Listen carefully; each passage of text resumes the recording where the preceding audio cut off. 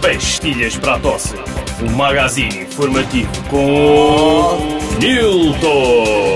Dia, sou o Newton e basta falar em piolhos para eu começar a coçar a cabeça. Sugestão. Grávida do primeiro filho, a apresentadora Carolina Patrocínio continua a exibir a barriga lisa mesmo com 4 meses de gravidez. Basta olhar para o tamanho do marido dela, o jogador de rugby, para perceber que isto está muito mal contado. Pelo tamanho do pai, aos 9 meses, o miúdo já devia estar para aí meio de fora. Na verdade. Não é?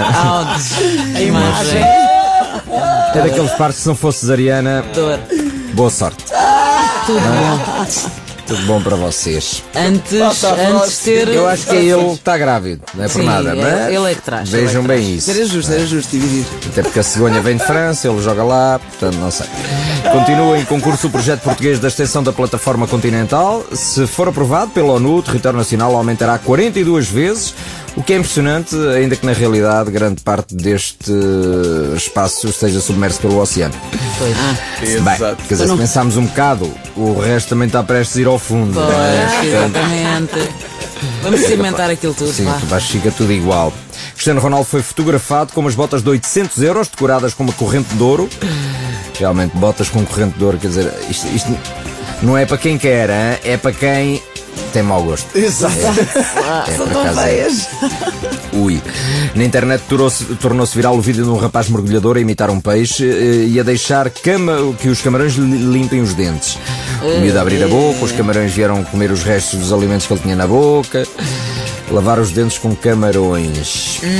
Isto também não é para quem quer. É para quem é esquisito. É esquisito, Muito esquisito. muito esquisito. E pouco higiênico costuma a ser ao contrário. A gente come-os, não Não, mas depois ele no final comeu os camarões. Pois só pode. Não é? Na Grécia, o antigo, primeiro, o antigo ministro uh, uh, da Defesa e outras 16 pessoas envolvidas numa rede de lavagem de dinheiro de 20 subornos foram condenadas uh, com penas de prisão. Isto vem reforçar a ideia de que Portugal não é de facto a Grécia. Uh, senão, em vez de irem presos, estavam todos sentados em administrações e a receber medalhas no era, Brasil e não sei era. o quê. Ou mesmo ministros, não é? Sniff. Mas tudo bem. Olha, muito obrigado ao Sr. Newton. E a mulher do Sr. Jorge refere-se a ele como meu Jorge, ou não? O seu, meu, teu, Bem visto. é o de todos. Pastilhas para a dúvida.